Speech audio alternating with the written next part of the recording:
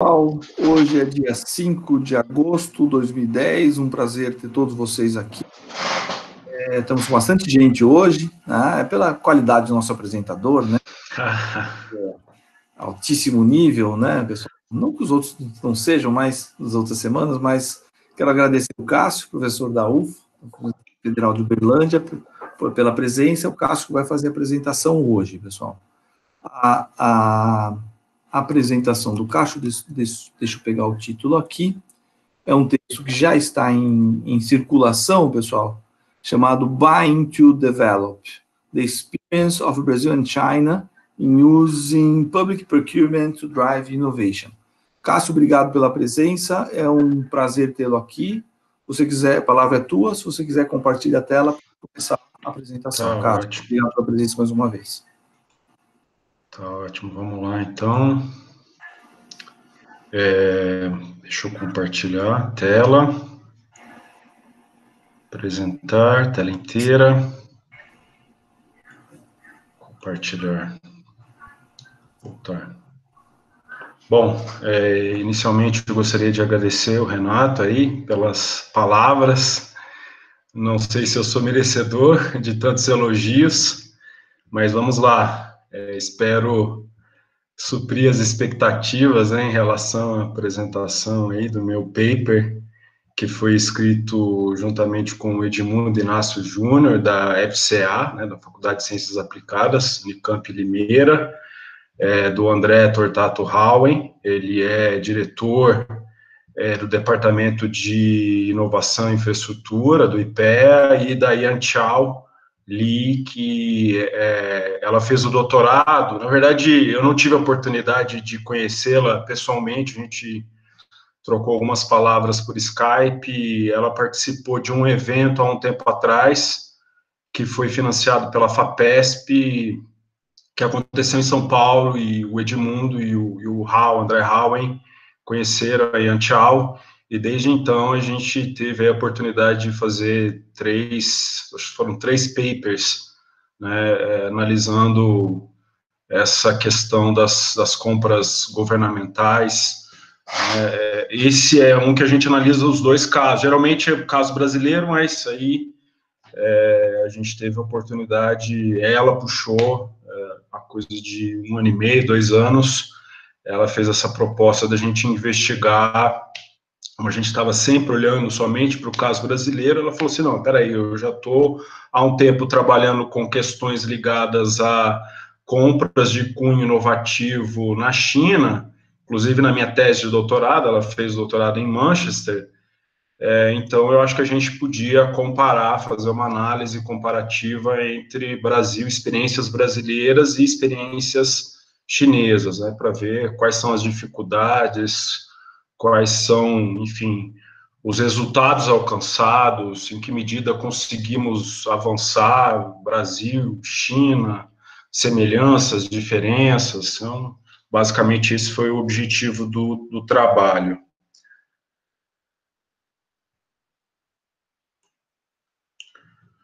Bom, então esse é o título, né, o texto voltando aqui, ele foi publicado na, numa revista de Singapura, que é International Journal of Innovation and Technology Management, foi publicado na sexta-feira, tá? Texto bem recente. Estava é, comentando com os alunos do curso né, as dificuldades, para fazendo um parênteses aí, as dificuldades no campo científico aí, é, em relação à publicação de artigos, de papers em periódicos internacionais bem ranqueados. Acho que esse foi o, acho que foi o terceiro, o terceiro journal para o qual a gente submeteu o, o paper. Tivemos uma recusa editorial, uma segunda recusa que não foi editorial, foi para os pareceristas, para os referees, mas é, não, não conseguimos emplacar. Aí nessa terceira revista a gente recebeu os, os, pareceres e tivemos que fazer alguns ajustes e tal, né, escrever carta para o editor, falando um pouco sobre o processo aí de submissão e publicação de papers, em, que acho que é interessante também venha calhar, né, dentro do, dos seminários aí do NEIT. Bom, então o título do trabalho é Bind to Develop the Experience of Brazil and China in Using Public Procurement to Drive Innovation. É, bom, o objetivo do trabalho é analisar o perfil das aquisições de bens e serviços por parte do setor público como um instrumento de catching up é, em dois países em desenvolvimento, né, justamente Brasil e China, é, justificativa para a escolha desses dois países. Então, a gente tem dois países com grandes mercados domésticos, mercados né, públicos, mercados governamentais de grande magnitude. É, a China, não me recordo, os dados chineses não estão frescos na memória, mas o Brasil já chegou a ter. Eu tenho trabalhos publicados nos textos para discussão do IPE, é, juntamente com o Edmundo, que o Brasil recentemente, salvo engano, 2011, 2012, chegou a ter quase 14,5%, 15% do PIB é, representando aí as compras do setor público. Aí, aí a gente está considerando o setor público, União, estados e municípios, tá? Então, é um mercado de grande magnitude. Em diferentes graus, empregam contratos públicos é, como ferramenta para alavancar o desenvolvimento. Então, existem, nos dois países, é, existem instrumentos, marcos legais, com a finalidade de estimular a compra inovadora, a compra de cunho inovativo. Tá? Então, Brasil e China foram objeto de análise empírica neste paper que envolveu comparação dos respectivos contextos institucionais, é, abordagens políticas e processos no nível micro relacionados à PPI. Então, quando eu me refiro a processos no nível micro, é justamente a política que foi adotada, por exemplo, no caso brasileiro, para a aquisição é, da plataforma P-51 por parte da Petrobras e da encomenda do avião KC-390 por parte é, da Força Aérea Brasileira. E no caso é, chinês, tem um, é, tem um equipamento que é para perfuração de túneis e tem é, turbinas utilizadas num parque eólico, tá? Lá, lá as duas são os dois casos analisados de compra inovadora analisados é, em relação à China. Justificativas para a escolha do tema. É, o que a gente percebeu a partir da análise da literatura é que existem poucas pesquisas com o intuito de investigar é, compra de PPI. Eu vou até conceituar, né, acho que a próxima, próxima lâmina, o próximo slide tem esse objetivo, conceituar PPI e PCP, que é o é, Pré-Competitive, perdão, Pré-Commercial é, Procurement que é a compra pré-comercial. É, PPI é, é, Procurement, Public Procurement for Innovation. Então, é a que eu chamo, né, traduzindo para o português, a compra de cunho inovativo, ou compra inovadora. É, então, existem poucos estudos com o propósito de investigar as compras de cunho inovativo nos países em desenvolvimento, tá? Como um fenômeno situado nas interfaces entre inovação e o desenvolvimento. Tá? Em termos de pesquisa empírica, pouco conhecimento foi desenvolvido para entender os nexos entre a PPI e os processos de catching-up tecnológico e desenvolvimento das economias emergentes. Então, essa é uma lacuna. É, estudos empíricos, casos específicos que permitissem elucidar, que permitam elucidar qual a natureza, quais os desafios, quais as dificuldades, quais as potencialidades da PPI no contexto dos países é, em desenvolvimento. É, outra lacuna que este estudo se propôs a preencher foi elucidar de que forma os contratos públicos podem ser empregados no desenvolvimento é, de países com estratégias nacionais diferentes. A gente vai ver que é, tem diferenças, né? Países em desenvolvimento, às vezes é complicado também colocar Brasil e China apesar de muitas vezes, em muitos trabalhos, eles serem colocados no mesmo saco, no mesmo bloco de países, eh, a gente vai perceber, por exemplo, a partir desse paper, que existem diferenças significativas que acabam se desdobrando em perspectivas também um pouco diferentes do ponto de vista é, das possibilidades em termos de desenvolvimento tecnológico a partir da PPI. Em outras palavras, analisamos neste paper como as compras públicas podem ter diferentes usos e pesos, considerando as especificidades de cada país. Bom, então, principais conceitos utilizados no, no trabalho, PPI e PCP, é, Public Procurement of Innovation, é, a definição mais estrita de PPI tem sido a aquisição de produtos ainda inexistentes, tá? Soluções com características radicalmente inovadoras, que estimulariam os fornecedores a desenvolver inovações, tendo a certeza de que contarão com um cliente garantido. Então, o fornecedor ele vai desenvolver um novo produto, um novo serviço, é, tendo aí essa garantia de que é, conseguirá fornecer, conseguirá vendê-lo posteriormente ao setor público, seja uma entidade pública, um órgão, um ministério, ou mesmo uma empresa pública.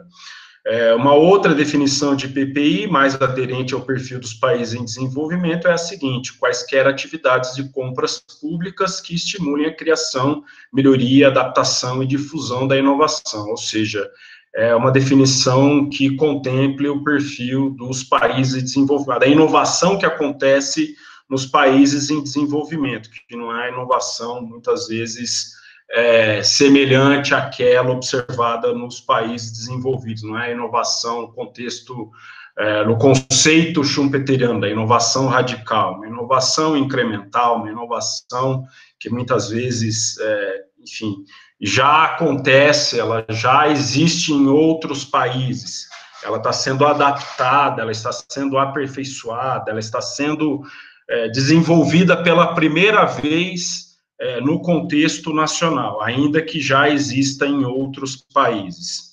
Segundo conceito que nós utilizamos no paper é o conceito de Pre-Commercial Procurement, PCP, é a compra pré-comercial, ligada à contratação da atividade de P&D, não estando necessariamente associada à compra posterior do produto em larga escala. Bom, importância das compras governamentais, é, falando um pouco sobre importância econômica, os impactos né, que as compras governamentais têm dentro da agenda de desenvolvimento dos países desenvolvidos em desenvolvimento. É, a contratação pública, ela se refere, primeiramente, né, ao conceito de o que é compra governamental, o que é contratação pública. É, contratação realizada por órgãos, empresas públicas, sociedade de economia mista, autarquias, fundações, pensando aqui no contexto brasileiro, é, dos diferentes, das, das, diferentes entidades governamentais, tá?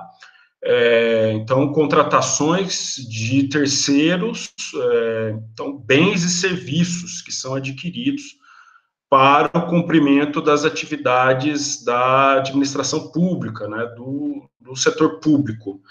É, Para vocês terem uma ideia da dimensão econômica do mercado de compras governamentais, ele representa aí cerca de 12% do PIB, de 12% a 15%, depende muito do ano, do período, de 12% a 15% do PIB dos países da OCDE. E essa proporção ela pode ser maior ainda nos países em desenvolvimento onde os governos estão fazendo investimentos, né, principalmente pegar os casos é, Indonésia, China, Índia, Vietnã, os países ali da, é, da Ásia, né, os países asiáticos estão fazendo grandes investimentos, o setor público está fazendo grandes investimentos, né, com vistas a alcançar um processo de desenvolvimento mais vigoroso. Então, o desenvolvimento está sendo capitaneado pelo setor público, já há algum tempo. É, então, é, e, e, essa proporção do tamanho né, do mercado de compras governamentais pode ser maior do que aquela que a gente observa nos países da OCDE. tá? Haja vista aí os investimentos para a construção de infraestrutura pública e aprimoramento dos serviços públicos. É, os contratos públicos é, facilitaram historicamente a industrialização de muitas muitas economias, tá? Tem o caso dos Estados Unidos, por exemplo, o Buy American Act, né? uma política lá de 1933, é, justamente com a finalidade de direcionar as compras do setor público norte-americano para as empresas, para os fornecedores norte-americanos, tá? É, então, dizer, um instrumento que foi utilizado não somente no contexto norte-americano, mas também europeu, de outras regiões, é, Japão, Coreia do Sul, é, setor aeronáutico, setor de defesa, historicamente é, é lembrado, é abordado pela literatura como um setor em que as compras públicas desempenhou um papel muito importante no processo de desenvolvimento tecnológico desse setor. Setor de energia, enfim, são alguns setores em que geralmente os contratos públicos são decisivos, né, é, para o desenvolvimento, é, para a redução de preços dos serviços de utilidade pública que vão ser consumidos pela população do país, mas também para o desenvolvimento tecnológico de fornecedores locais.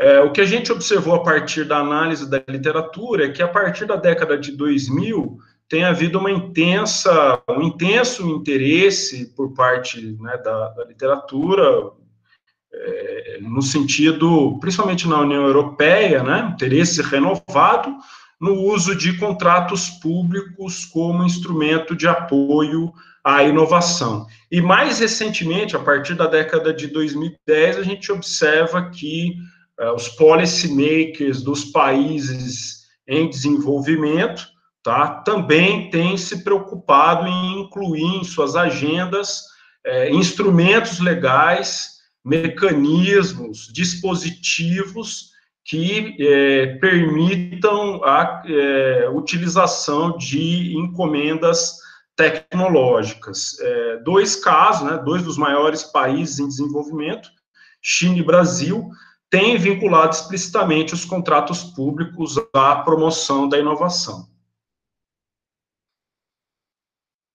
É importante ressaltar que as compras governamentais elas estão sujeitas a regulamentações supranacionais. Né? O principal exemplo dessas regulamentações supranacionais é o acordo da OMC, é o chamado é, GPA, Government Procurement Agreement, é o acordo sobre compras governamentais, é um acordo de 1979, ele tem vários países é, desenvolvidos signatários. Como ele é um acordo supranacional, o país que faz parte, que compõe a OMC, ele pode decidir se ele vai ou não ser signatário, se ele vai ou não seguir é, as normas, as diretrizes daquele acordo, tá? Então, atualmente, o Brasil está até flertando aí com a possibilidade, o Itamaraty está vendo aí, já desde o governo Temer, existem algumas tratativas no sentido do Brasil né, passar a ser signatário do GPA, mas é, até o momento o Brasil ainda não é, é não faz parte aí do acordo de compras, sobre compras governamentais da, da OMC. Tá? Basicamente, o GPA, ele preocupa-se é, com um comércio internacional livre e não discriminatório, tá? Bom, por que, que os países, alguns países em desenvolvimento, como Brasil e China, resolveram ficar de fora do, do GPA? Porque eles têm mais flexibilidade para utilizar seu poder de compra para fins de desenvolvimento, tá? Porque geralmente quando você é signatário do GPA, dizer, eu não posso estipular margem de preferência para fornecedores locais, quando a Petrobras ou alguma autarquia, fundação, né, sociedade de economia mista, é, empresa pública vai lá é, fazer a aquisição de um bem ou serviço de grande monta, não pode estipular é, que uma parte daquele item que está sendo adquirido é, vai ser né, comprado junto a fornecedores é, nacionais ou locais. Então, quer dizer, tratamento não discriminatório. Justamente por conta dessa maior flexibilidade, os países de desenvolvimento optaram, e por se tratar de um, é, de um acordo supranacional, os países em desenvolvimento, muitos deles optaram por não, é, por não serem signatários do, do GPA, tá? Por outro lado, é importante chamar a atenção para o fato de que existem problemas recorrentes entre os países de desenvolvimento, como falta de conhecimento, capacidades, né, capacidade institucional necessários aí para a realização de existem dificuldades, né, no processo de, de compra, é, apesar deles não estarem dentro, muitos deles não estarem dentro do acordo é, da, da OMC para compra governamental, eles padecem de outros problemas. Então, por exemplo, você tem lá um sistema de compra subdesenvolvido, corrupção, capacidade institucional limitada, baixa capacitação dos profissionais ligados à encomenda inovadora. Tudo isso acaba muitas vezes dificultando é, a realização de PCP e PPI por parte dos países. É, essa é uma hipótese né, que nós, nós tínhamos é, quando iniciamos a realização do trabalho. Tá? Então, a PPI nos países em desenvolvimento pode ser altamente complexa. Né? Então, apesar de não estarem dentro é, do, do acordo da OMC, eles padecem de outras dificuldades. É, compra governamental como mecanismo de estímulo à inovação. É, a ideia de se utilizar as compras governamentais para promover o desenvolvimento do país, mais especificamente para fomentar a inovação tecnológica, se apoia no argumento de que o setor público é um comprador especial. Esse é um argumento né, que alicerce o nosso trabalho. Por que, que o setor público é um comprador especial? Primeiro, que ele tem um poder de compras de grande monta 15% do PIB. Né? Veja o tamanho da Petrobras, veja o tamanho das empresas públicas chinesas. A China possui duas empresas do setor de petróleo e gás que estão entre as é, cinco maiores companhias de petróleo do mundo. Né? Então, grandes empresas, né? o setor público tem um poder de grande, um poder de compras de grande monta. Estão mais propensos, muitas vezes, comparativamente ao setor privado, a assumir o papel de risk taker, né? então, assumir riscos em alguns ramos de atividade, possuem demandas por bens e serviços de alta complexidade tecnológica.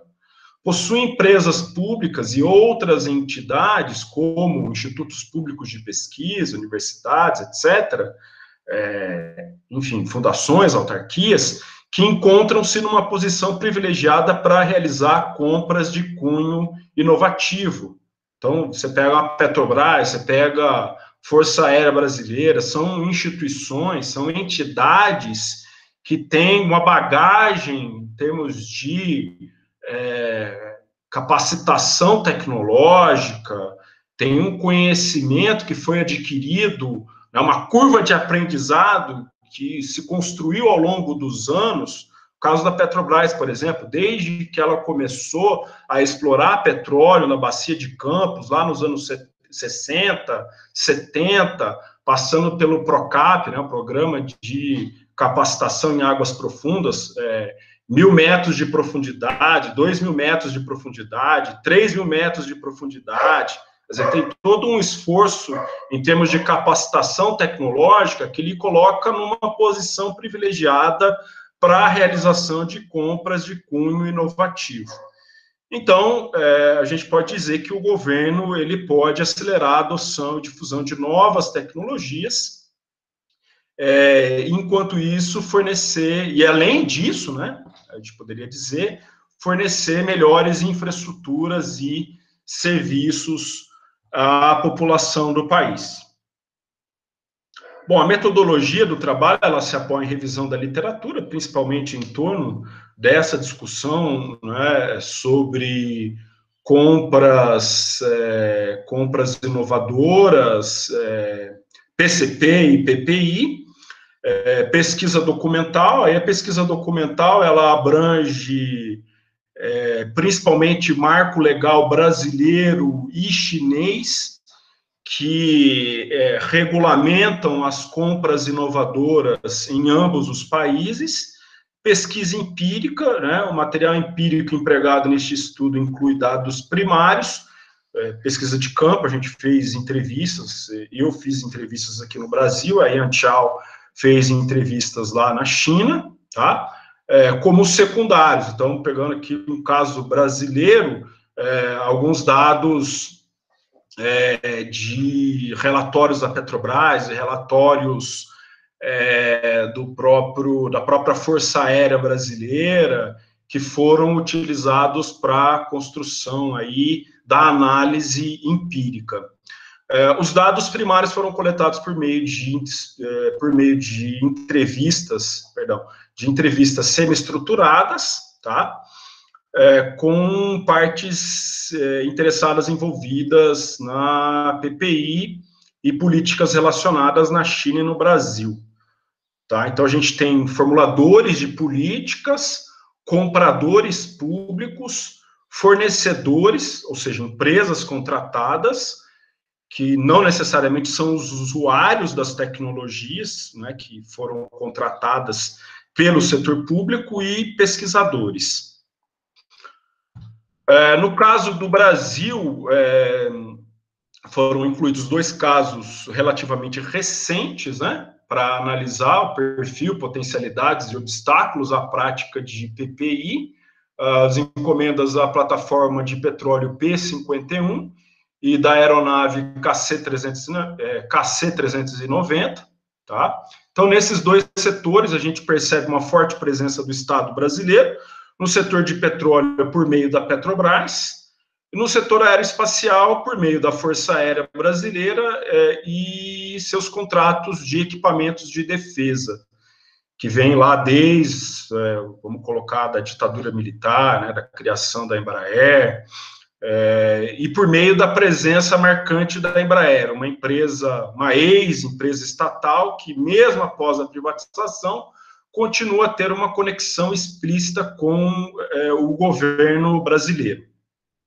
O estudo foi baseado em informações coletadas e entrevistas né, presenciais, utilizando questionários semi-estruturados.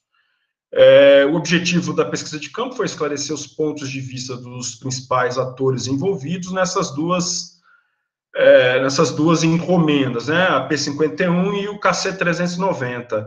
Para quem tiver interesse, pessoal, tem a listagem dos, é, dos entrevistados, é, que, que for, das entrevistas que foram realizadas lá no apêndice do, do paper, a gente incluiu tanto nos casos brasileiros como nos casos chineses é, trazendo à luz informações que aprimoram os resultados fornecidos por meio da pesquisa bibliográfica e documental. O elemento central que permeou todos os questionários foi né, justamente averiguar como essas aquisições impactaram, do ponto de vista da capacitação tecnológica, os fornecedores locais. Os fornecedores que participaram, né, no caso da encomenda da é, da plataforma P51 é, por parte da Petrobras e, é, no caso da, da encomenda realizada pela Força Aérea Brasileira do avião cargueiro KC-390. Nos casos chineses, é, a aquisição das turbinas para o primeiro parque eólico da China, ou seja, o Parque Eólico Xangai Dongai Bridge Offshore, e a encomenda de um protótipo avançado de uma máquina de tuneladora. É um tipo de uma máquina de perfuração de túnel, que é utilizada para a construção de serviços subterrâneos e de serviços de utilidades públicas, como água e eletricidade.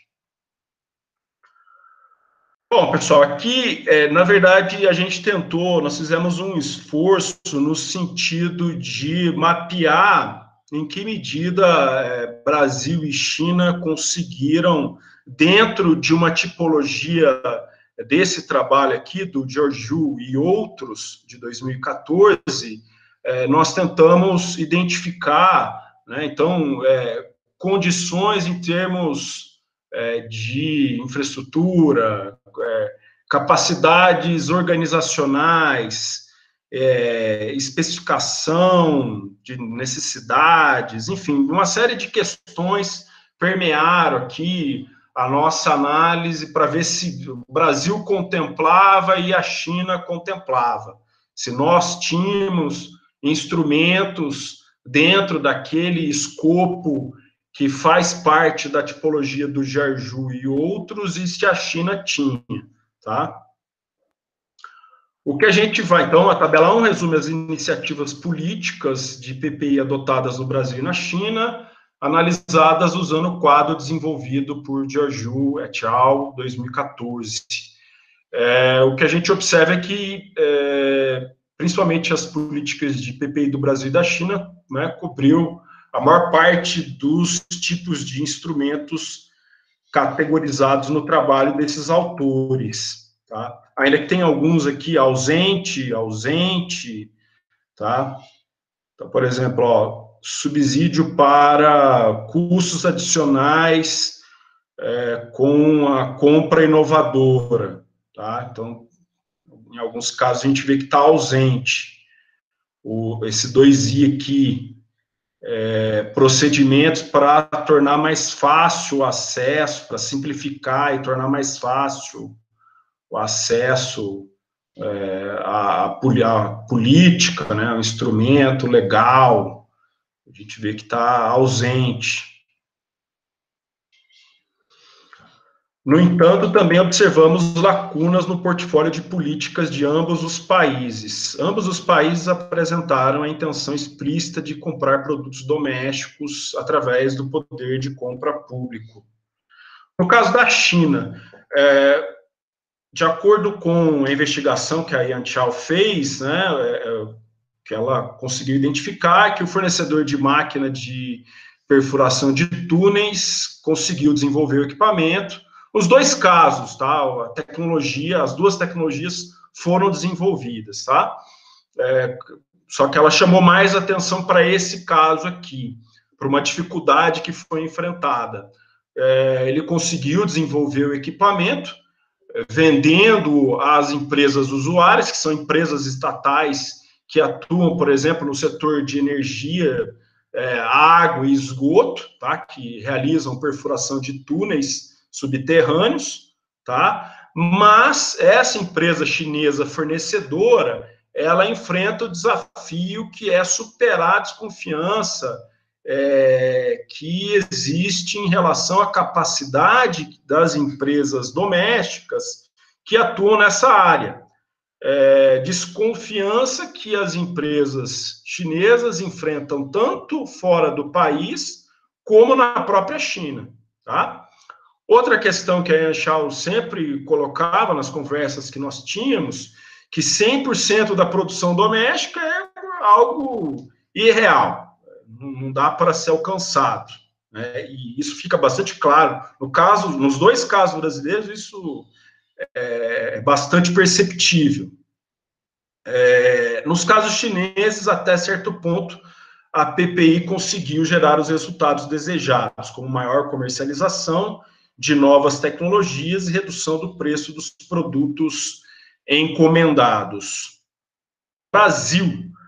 Bom, em relação ao Brasil, é, com base no estudo apresentado no artigo, é possível dizer que a estrutura de leis e regras do país é favorável à inovação, né, realização de políticas de PCP e PPI, artigo 20 da Lei de Inovação e outros instrumentos que surgiram depois da Lei de Inovação, tem justamente essa preocupação de estimular, de permitir é, que o setor público brasileiro realize compras inovadoras, encomendas, é, por exemplo, ligadas à P&D, não necessariamente encomendas que posteriormente é, gerarão é, uma escala maior, posterior. Então, quer dizer, eu vou comprar só o protótipo de um determinado equipamento, dois protótipos. Então, eu estou comprando só a PID, que é o tal do PCP. Apesar disso, as encomendas tecnológicas ainda são subutilizadas pelo setor público brasileiro. Nesse sentido, vale mencionar alguns obstáculos à prática da PCP e da é, PPI no Brasil. Primeiro, tá, característica marcante da indústria brasileira é o baixo investimento em pesquisa e desenvolvimento, tá? Esse é um elemento que restringe, quer dizer, como que eu, setor público, vou comprar é, de fornecedores brasileiros se já existe uma tradição reduzida, né, uma baixa vocação tecnológica por parte da indústria brasileira em investimentos em termos de pesquisa e desenvolvimento. Isso aí já é difícil encontrar fornecedores capacitados. Então, é justamente esse primeiro item, né? É difícil encontrar tecnologia, empresas qualificadas e posicionadas na vanguarda tecnológica de seus nichos para participar de PCP e PPI. Outro obstáculo para a prática de PCP e PPI identificado no caso brasileiro diz respeito ao fato de que, por mais de uma década, a política macroeconômica do país se baseou em instrumentos como superávit primário e regime de metas inflacionários, tá? É, isso restringiu as possibilidades é, de adoção de políticas que favorecessem, né? então, políticas fiscais, é, uma agenda de desenvolvimento que contemplasse a política inovadora de maneira mais enfática, digamos assim. Além disso, de acordo com alguns autores, devido a essa política, a crise econômica que o país enfrenta desde 2014 é, comprometeu as contas do setor público e, consequentemente, a disponibilidade orçamentária. É, este problema afeta programas de defesa com frequência. Então, no caso do KC-390, a partir das entrevistas que eu fiz, as restrições orçamentárias do governo federal causaram um atraso no cronograma de desenvolvimento e de certificação dessa aeronave. Tá? Isso obrigou a Embraer a desembolsar recursos próprios e também afetou a campanha de vendas desse avião é, junto a potenciais clientes. Tá? Além disso, no Brasil, é, como destacado no, no, paper, a alternância de poder é, pode levar a mudanças profundas no modelo de desenvolvimento é, e descontinuidades em programas e estratégias. Tá? Então, a gente vê, por exemplo, né, recentemente, o que a gente chama de pêndulo político brasileiro. Então, após o impeachment da presidenta Dilma Rousseff, a gente teve algumas rupturas, algumas modificações na agenda de desenvolvimento, por exemplo, da Petrobras. A política de conteúdo é, local da Petrobras foi substituída por uma lógica marcada por desinvestimentos e pelo abandono da política de conteúdo local.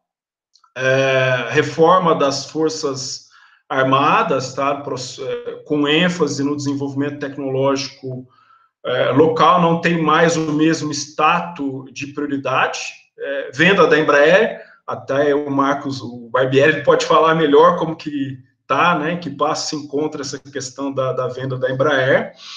É, uma vez é, descartada pelo governo brasileiro, foi implementada, antes ela havia sido descartada, é, agora no governo Bolsonaro, havia sido decidida né, a venda, agora voltaram atrás, a Boeing voltou atrás, tá? então você tem esse pêndulo político que acaba impactando é, nas possibilidades de efetivamente adotar PCP e PPI no país. Então, o movimento do pêndulo político é, muda significativamente a importância que o governo brasileiro atribui às encomendas tecnológicas.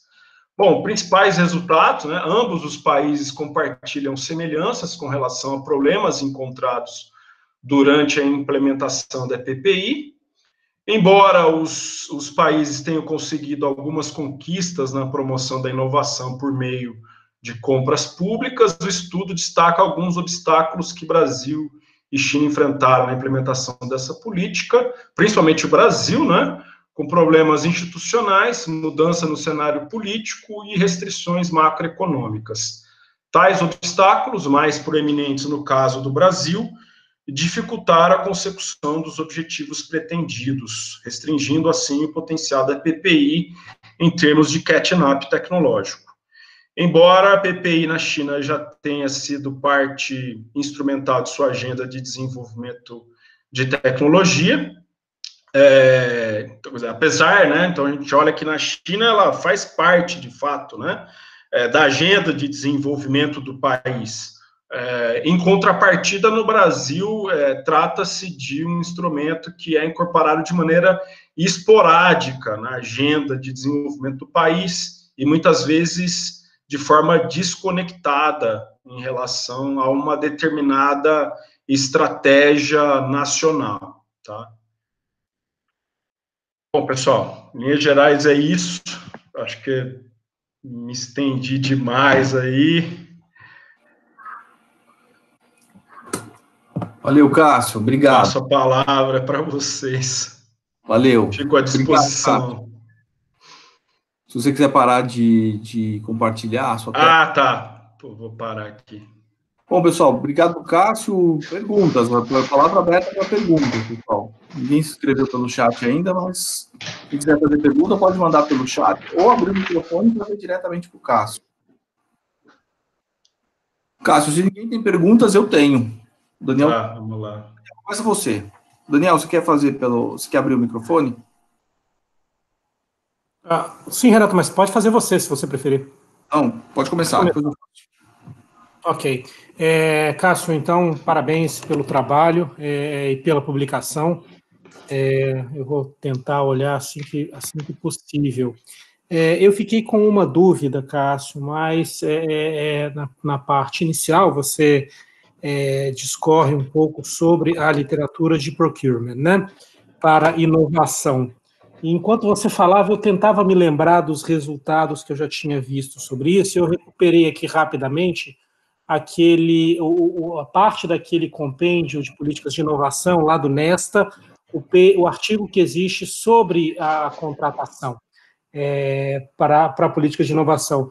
E me chamou a atenção o resultado final que é colocado nesse, nessa, nessa revisão de literatura, onde ele fala, onde a Elvira Uyara, onde ela fala literalmente é, que metodologias melhores são necessárias para identificar o impacto de ah, políticas do lado da demanda, em especial procurement. Ah, esse paper estava colocado em 2012. É, a minha dúvida é se você é, concorda, a partir da revisão que você fez atual, nesse momento, você concorda com, a, com, a, com, a, com essa conclusão? Quer dizer, a revisão que você fez sugere que a gente ainda não tem evidências é, é, é robustas do impacto é, de políticas do lado da demanda? Cássio, eu tenho uma pergunta. Vamos fazer uma, vamos fazer uma rodada? Isso, acho melhor. Tá. Meu caro, quer fazer a pergunta? Abre o mic e faz. Depois o Paulo. Então fazemos três, três perguntas. Tem a pergunta do Daniel, o Marcos pergunta, depois a pergunta do Paulo, e em seguida você responde. Pode ser, Cássio? Certo. Marcão, você. Ah, é, em primeiro lugar, parabéns pela apresentação, Cássio, do um tema tão importante, né, a questão das aquisições públicas, aí teve um centro de tantos problemas que nós vivenciamos aí, só imaginar que a Lava Jato está aí no meio, né, então ter coragem de entrar nesse tema, meus parabéns por um belo trabalho, tá? Ah, a pergunta que eu ia falar, eu fiquei um pouco na questão seguinte, quando vocês colocam, você coloca dois casos, por exemplo, no caso do Brasil, Petrobras e Força Aérea Brasileira. É, me vê preocupação na seguinte coisa: até que ponto que eu considero a compra direta ou a compra de estatal? Quer dizer, no caso da Petrobras, eu estou falando aí de uma empresa estatal, serve para qualquer país, está pegando só o caso que você mesmo utilizou lá, né? Da, da P51. E no caso do KC 390, uma aquisição direta uh, pela. Porque isso daí passa a ter uma, uma importância muito grande. A questão é a seguinte: é, até que ponto que eu tenho, a, a, a, claro, um ponto chave que é a questão das estatais, né? Até que ponto que evidencia dentro dessa questão é, a questão das estatais, né, vis-à-vis a compra direta, né? Como é que isso é tratado? É, como é que você Essa é uma questão um pouco ampla, mas eu gostaria de da sua, da sua do seu comentário sobre isso e parabéns pelo trabalho. Obrigado, Marcos. Paulo. Aí, Cássio, aí você responde. Certo. Ah, então, uh, Cássio, parabéns pelo trabalho, bem legal. Uh, na verdade, a minha questão é complementar do Daniel, que eu estava aqui olhando o, o paper, na verdade, o artigo da Elvira, né, do, do, do, do handbook do, do Adler, e ela, ela não só fala da questão da, da, das evidências, né, que são escassas, mas também fala que os estudos são restritos no que se refere às metodologias, né, e, e tem pouca, pouco foco na questão da inovação. E esse livro é de 2016, então a minha pergunta é, complementa do Daniel no sentido de é, tem visto é, tem visto mais evidências sobre a, essa relação, né, e principalmente o efeito é, dessas políticas, né, avaliadas em termos de inovação. Obrigado, Paulo. Cássio, você quer responder?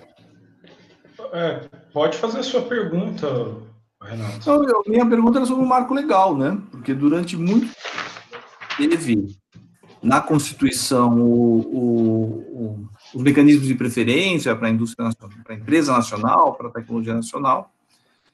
Nos anos 90, esse, essa, esse dispositivo constitucional foi abandonado, foi tirado, né? O, os mesmos que criaram o conceito lá de empresa nacional na Constituição foram os que tiraram, né?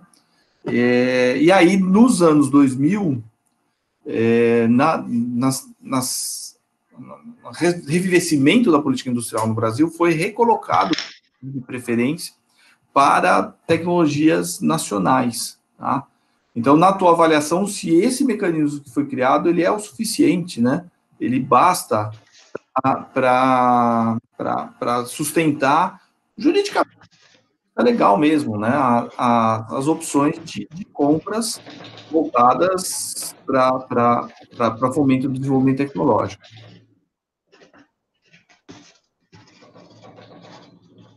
Bom, vamos lá. Eu vou compartilhar com vocês um trabalho do André Howen, é, em que ele Deixa eu pegar o link que eu vou, eu vou mandar no bate-papo, em que ele aborda, deixa eu ver aqui qual página. Se me permitirem, eu vou começar pela questão do Renato. Depois eu vou para a questão do, do Daniel e do Marcos.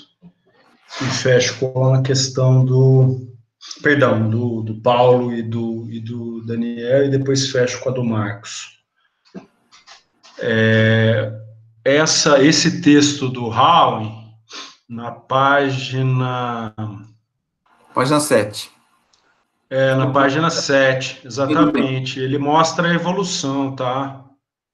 Ele mostra a evolução do que ele chama de ETECs, né, que são as compras tecnológicas, as encomendas tecnológicas. Tá? Ali, ó, encomenda tecnológica, uma compra pública voltada para encontrar é, solução para determinado problema por meio de desenvolvimento tecnológico, ou formalmente tipos especiais de compras públicas diretas voltadas a situações muito específicas nas quais exista o risco tecnológico. Enfim, respondendo à sua pergunta, Renato, os mecanismos existem, os mecanismos legais existem. O problema é o seguinte: é, existe, ao mesmo tempo em que tais mecanismos estão presentes né, dentro, existe um arcabouço legal, digamos assim, um arcabouço jurídico, que torna possível ao setor público brasileiro realizar PCP e PPI, em primeiro lugar, você precisa encontrar é, instituições dentro do setor público brasileiro é, habilitadas a realizar esse tipo de encomenda. É, em segundo lugar, tem a questão habilitada, eu digo, né, tem capacidade tecnológica para realizar esse tipo de encomenda, que não é algo trivial.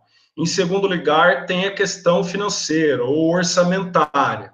Tem que ter é, bala na agulha para conseguir adquirir aquele equipamento ou comprar a P&D é, para o desenvolvimento daquele protótipo, que geralmente vai envolver uma quantia extremamente elevada né, de dinheiro, de, de, de recurso.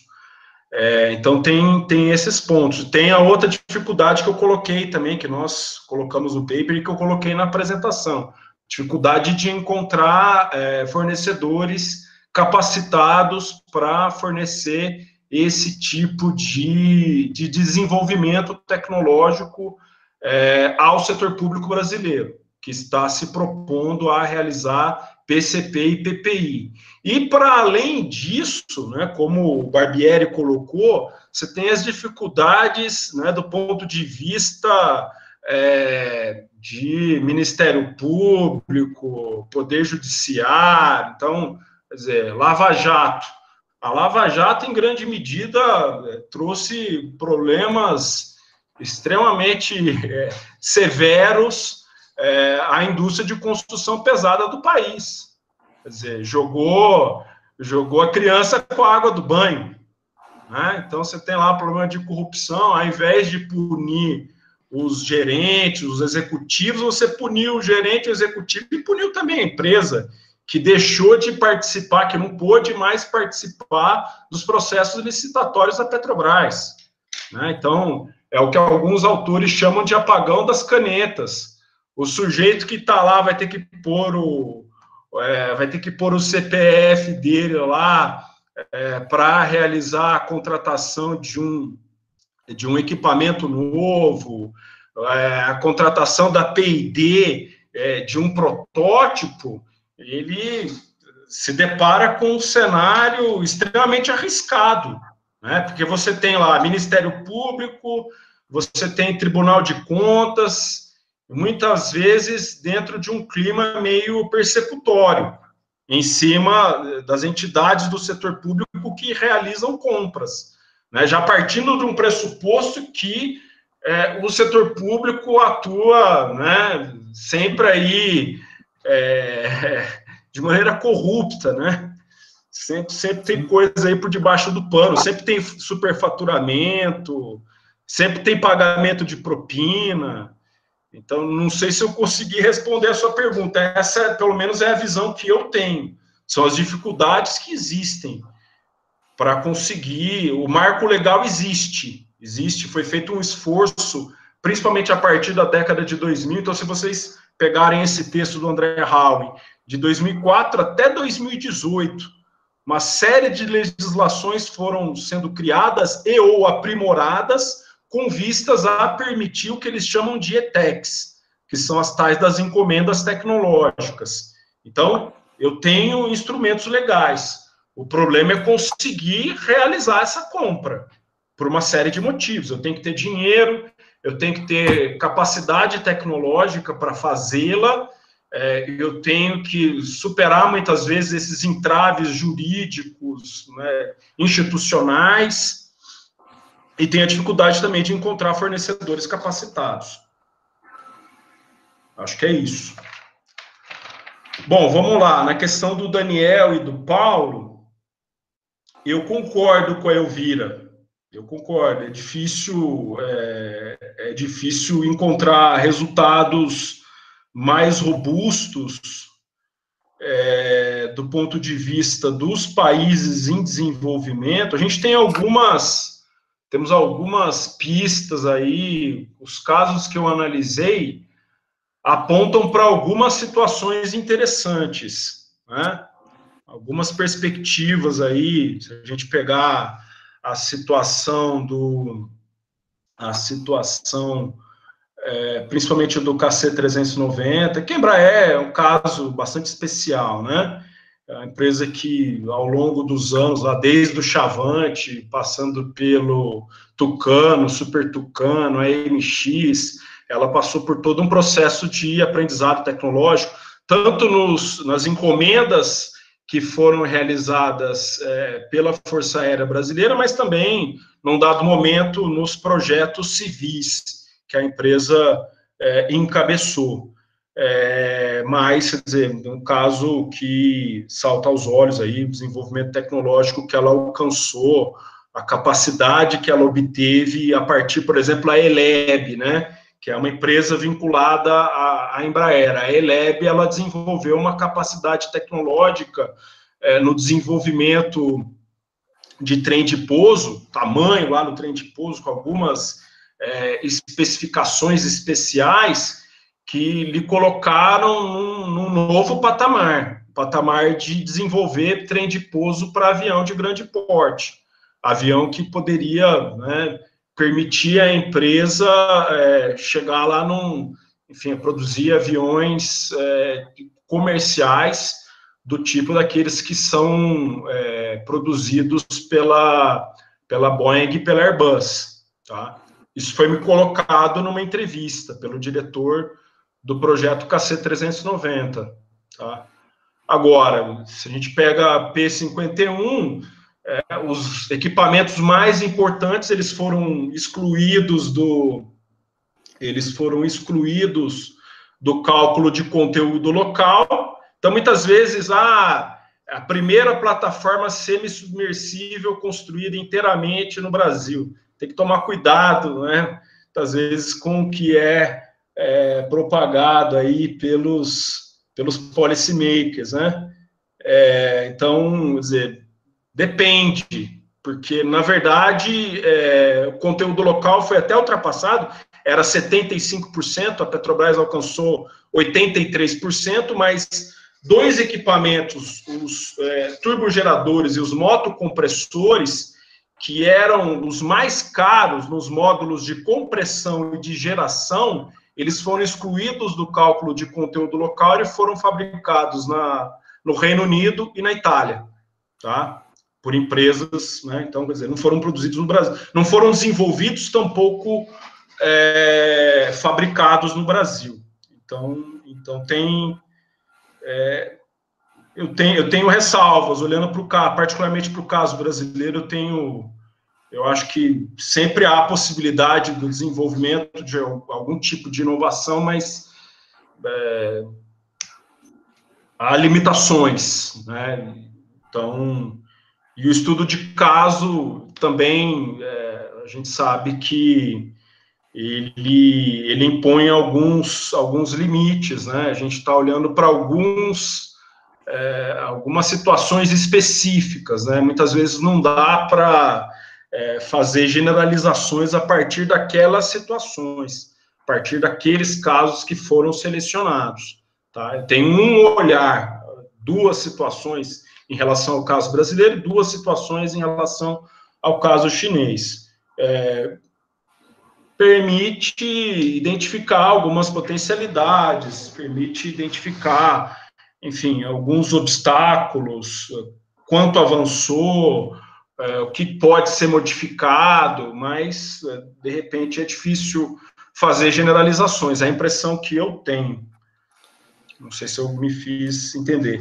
É, compra direta, pergunta do Marcos, compra direta e estatal. É, eu não entendi muito bem a sua pergunta, Marcos, porque na verdade a FAB fez a compra e a Petrobras fez a compra também, não é? Quer dizer, uma é a, FAB é vinculada ao Ministério da Defesa e a Petrobras uma sociedade de economia mista. A Petrobras também fez a compra para us, usar, a FAB para usar e e a Petrobras também para uso. É, a, a questão, é, Cássio, seria no sentido de que, no caso dos países que possuem estatais, chaves ou empresas estatais, ou vamos usar um caso, voltando um pouco, por exemplo, o caso brasileiro, uma eventual privatização da Eletrobras, que o desmonte é estatal, e isso daí eu vou ter um impacto brutal. E eu queria verificar se isso foi colocado, não, é, se isso é, de que maneira isso é visto na literatura ou em alguns trabalhos que você tem visto, se existe essa preocupação, se existe essa relação ou não. No caso brasileiro, vamos imaginar anos 90, o setor de telecomunicações que teve a privatização, ou uma eventual privatização da Eletrobras. Está até olhando o trabalho aqui do, do Howen aqui, citando N elementos da Eletrobras, etc. Seria um pouco nesse sentido, né? Ou no caso seu, por exemplo, uma Petrobras, dizer, se fosse uma empresa privada, não teria, claro que isso é difícil pensar, mas se não fosse uma empresa privada, eu deixo de ter esse mecanismo de ação, quer dizer, a ação da a importância que as empresas estatais passariam a ter dentro desse processo de compra. Cássio, é, no, no, caso, oi, oi. Tem uma pergunta do Célio, você quer Quer pode ser. Pergunta aí. Pode, pode ser, pode ser. Pode ser. Célio.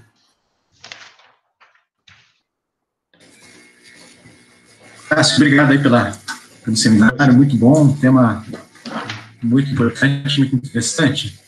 É, queria primeiro fazer um, um, comentário que eu achei bem interessante que vocês colocaram no, artigo, a questão da, da instabilidade né, da política econômica no Brasil. Não da política econômica, não, mas seguindo talvez a questão aí da, é, dos diferentes é, ciclos, né, dos diferentes partidos que vão assumindo o governo. Né. É, porque tem, tem, tem uma questão importante que é isso, quer dizer, a ideia de você ter é, política de compra como suporte à inovação, ela parte um pouco da ideia de que apenas é, os instrumentos do lado da oferta, né, subsídios e por aí vai, é, eles podem ser complementados, né, talvez com um elemento fundamental no processo inovativo, que é justamente você tentar, de uma certa maneira, atenuar a incerteza em relação à demanda né, de produtos que muitas vezes a demanda não se sabe exatamente qual será, né, e qual a natureza dessa demanda. Então, a política de compra pública voltada à inovação tenta tra trabalhar um pouco nessa linha, né, você complementar, talvez, né, uma política de oferta, de inovação, né, é, com outras políticas do lado da demanda. Né. É, só que, obviamente, que quando a gente entra no caso específico do Brasil, é, aquilo que deveria ser né, uma política de Estado de longo prazo, que poderia, de fato, né, atenuar um pouco essa incerteza em relação à demanda, incentivar a inovação, acaba não acontecendo. Né? Então, acho que isso é interessante. Né? Enfim, mas isso é só um comentário. Minha pergunta é mais em relação a é, os dois casos que vocês trabalharam, tanto também no, não só no caso do Brasil, mas no caso da China, é, são projetos que eu diria que têm uma característica de serem é, projetos que, é, de uma certa maneira, é, tem, tem, são quase projetos sob encomenda, né? talvez mais a P51 do que, é, do que o, a C390. Né? Mas, de qualquer maneira, quer dizer, é, eles têm naturalmente, né, nos dois casos, certo, uma tendência pela, pela, pelo perfil do produto, de uma certa é, volatilidade na demanda. Né? São produtos que têm um valor, digamos assim, é, unitário muito elevado. Então, lógico que isso cria, digamos assim, um processo de, é, de instabilidade na demanda. Né? É, você acha que essa política, e aqui, pensando especificamente no caso do setor de saúde, né? é, num produto que tivesse, digamos assim, uma demanda talvez um pouco mais contínua, né, é, mais estável, poderia é, fazer diferença no resultado? Lógico que né, dizer, isso me vem à cabeça, obviamente, por conta aí da, provavelmente, essa, é, essa política de compra, ou, ou né, uma política de demanda voltada para produtos de saúde, né, começa a se multiplicar. Né? É, e no caso, quer dizer, eles têm uma natureza um pouco diferente, né? talvez da, por conta justamente né, você tem uma demanda talvez um pouco mais contínua é, e, e, o valor unitário dos produtos um pouco menor. Né? Não sei se isso faria diferença ou se você acha que não faz diferença.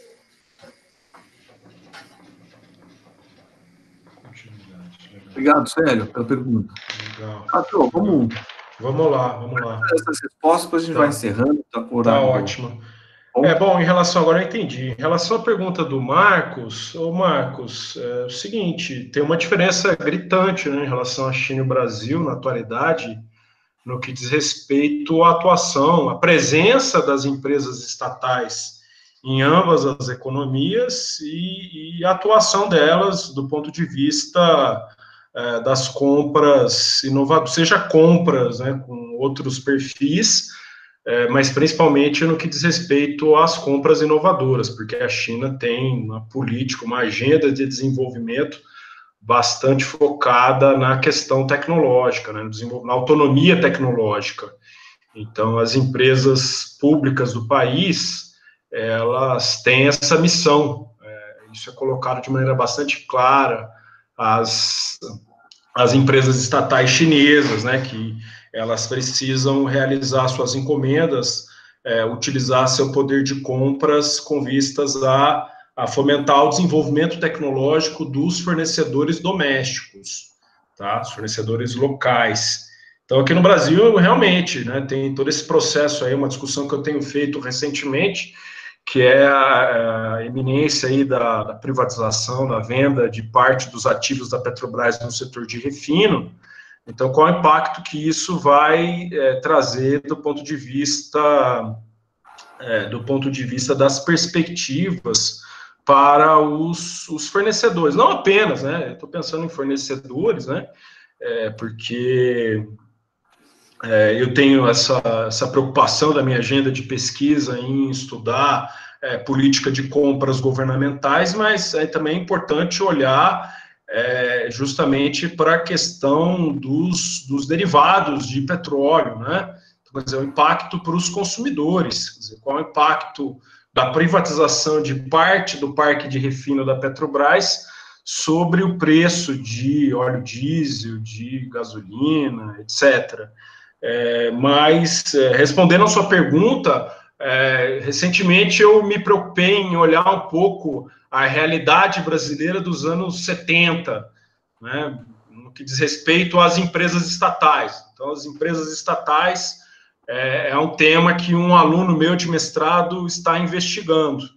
Então, se você olha presença das empresas estatais brasileiras nos anos 70 era fundamental em relação à política, à agenda de política industrial e tecnológica do país, né? Central, é um elemento central. E, e, esse papel das empresas estatais foi paulatinamente perdendo força partir dos anos 80, 90, a crise dos anos 80 e posteriormente década de 90 com a, né, a privatização de, de, uma parte importante das empresas estatais brasileiras e depois você tem crise, né? E o Célio colocou a questão da, da agenda macroeconômica que a gente aborda no, no trabalho, né? O tripé macroeconômico a política que né, tem aí como um elemento central é, o superávit primário, tudo isso vai restringindo as perspectivas em termos de adoção de uma política industrial apoiada nas empresas estatais. Né? Então, isso aí vai, vai se perdendo aí dentro do horizonte da política industrial e tecnológica do, do governo brasileiro. Então, não sei se eu se foi mais ou menos isso que, se era mais ou menos isso que você esperava.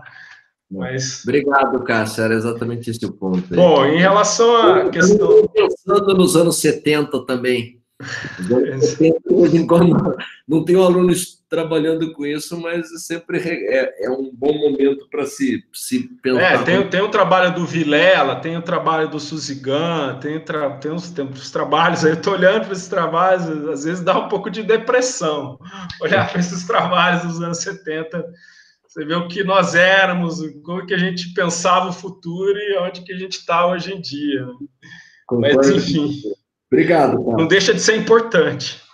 Ah, obrigado. Uh, bom, em relação à questão do, do sério, realmente a gente teve, eu, eu principalmente, né, tive essa preocupação em mostrar é, quais foram os entraves é, para o desenvolvimento, para a realização da PCP e da PPI aqui no Brasil, enfatizando a, a questão macroeconômica, né, de que maneira a política macroeconômica que, que permeia lá desde o governo final, lá do governo FHC, o tripé macroeconômico, né? É, perpassa lá o governo FHC, né? Depois os governos petistas e dizer, hoje a gente tem uma agenda um pouco mais draconiana, né? Da ponte para o futuro, enfim, as reformas que têm sido implementadas a partir do governo Temer. Então, a gente chama de pêndulo político. Vamos dizer, antes a gente tinha alguns autores é, chamam de neo-desenvolvimentismo, novo desenvolvimentismo, uma atuação mais incisiva do Estado nos rumos do desenvolvimento do país, que se manifesta, por exemplo, através da política de conteúdo local, no caso da Petrobras, ou né, no caso da, da, Força Aérea Brasileira, o reaparelhamento né, das, das Forças Armadas.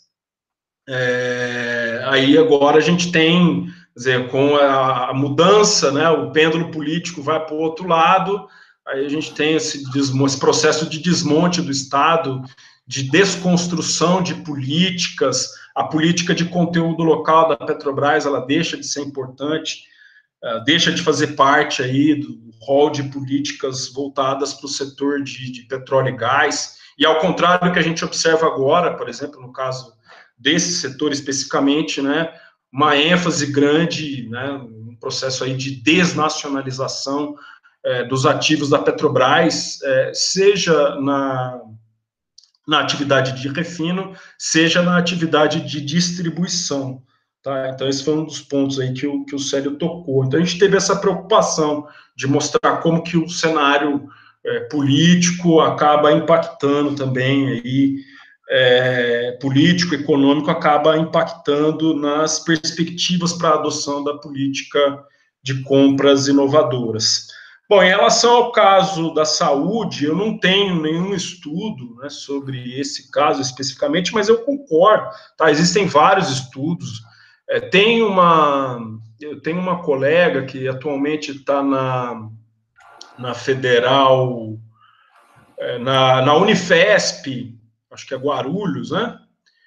É, Poliana, ela, ela tem um estudo é, do livro que foi publicado, isso, Poliana Varricchio, é, no livro que foi editado pelo, pelo Howen, tá? o, o Howen foi o editor, que é Políticas de Inovação, Política de Compras Inovadoras no Brasil, é, o estudo dela tem justamente a finalidade de estudar inovação, política de compras inovadoras voltadas ali para o setor de saúde. Eu concordo, né? Tem justamente esse perfil da continuidade tem um impacto, é, a importância para a sociedade, né, que é notório, e, e tem né, a utilização do SUS, tem todo um aparelho público, do, do, enfim, é, que foi constituído principalmente a partir da Constituição de 88, é, e que também agora o governo brasileiro, de alguma forma, está tentando desmontar, é, e e para além disso, né, quer dizer, não preciso nem ficar falando aqui a importância dele do ponto de vista é, dos desdobramentos é, né, em relação à saúde das pessoas, né, enfim, o impacto social é, desse, desse tipo de desenvolvimento tecnológico. Então, então, eu concordo, além da questão de não ter mesmo, o mesmo perfil de volatilidade que tem, por exemplo, uma encomenda de avião cargueiro ou uma encomenda de plataforma petrolífera, né? Que inclusive tem a possibilidade, plataforma petrolífera, tem estudos aí que o tal do subsítio bit, eu não vou mais usar a plataforma, vai ter lá um equipamento submarino que vai jogar direto do, do poço para o litoral. Então, você não usa mais a plataforma, são outros equipamentos né?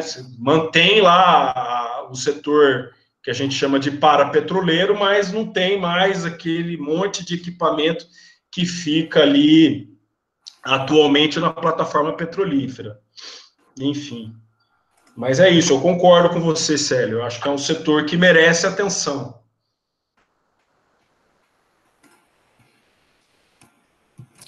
Legal. Bom, pessoal, então estamos horário avançado já, 18h23. Quero agradecer mais uma vez a presença de todos. Eu fui pendurando algumas informações aí no chat, pessoal. Então, reiterando, semana que vem nós não teremos o evento, teremos o seminário de jovens pesquisadores. Na próxima semana, semana seguinte, na verdade, no dia 19, a apresentação vai ser da Vanessa Parreira de Oliveira, que vai apresentar um trabalho com, intitulado Uma investigação sobre os fatores direcionadores, os drivers, os relacionamentos bidirecionais de pequenas e médias empresas brasileiras com universidades e institutos públicos de pesquisa. Está todo mundo convidado para o dia 19, então, pessoal. E mais uma vez agradeço a presença de todos e, e especialmente a, presença do Cássio. Cássio, muito obrigado pela apresentação. É muito interessante seu trabalho, excelente apresentação. Para nós é um prazer recebê-lo tá? é, aqui conosco, um imenso prazer. E em breve, em alguns dias, o, o, o, o trabalho, a apresentação vai estar disponível no YouTube. Boa tarde, até a próxima. Boa noite a todos, agradeço também. Falou.